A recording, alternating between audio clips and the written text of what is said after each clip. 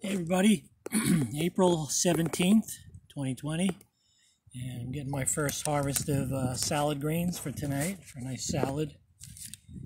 Um, clipped a few leaves off now. I could pinch them off, but I find it a little easier just to clip them with these little shears.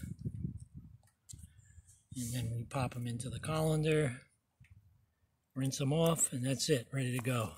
No uh, chemicals on these greens at all just a little um, a little soil splashed up from the rain or watering. Anyway, I got some kale in here, some lettuce.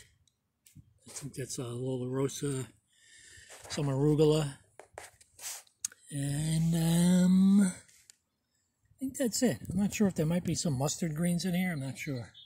Can't tell.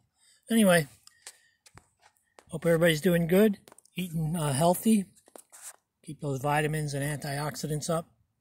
And uh, we'll talk to you soon. Have a good day.